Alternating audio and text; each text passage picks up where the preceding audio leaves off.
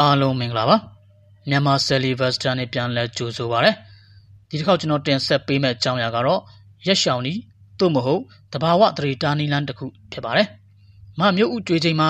အမျိုးသားနဲ့အတူမနေခြင်းဖြင့်ကိုယ်ဝန်မရအောင်တားသောနီလန်ဖြစ်ပါတယ်28ရက်တခါရာသီပုံမှန်လာသောအမျိုးသမီးတွေမှာ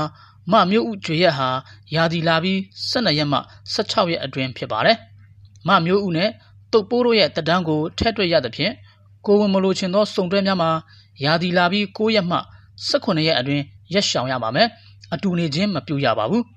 ပြောင်ပြန်အဖြစ်ဆိုမယ်ဆိုရင်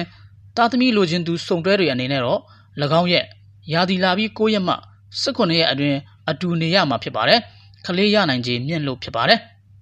30ရက်တခါရာသီလာသောအမျိုးသမီးတွေမှာတော့ရာသီလာပြီး17ရက်မှ19ရက်အတွင်းရက်ရှောင်ရမှာဖြစ်ပါတယ်အတူမနေဘဲနေရမှာဖြစ်ပါတယ် 35ရက်တခါရာသီလာသောအမျိုးသမီးတွေမှာတော့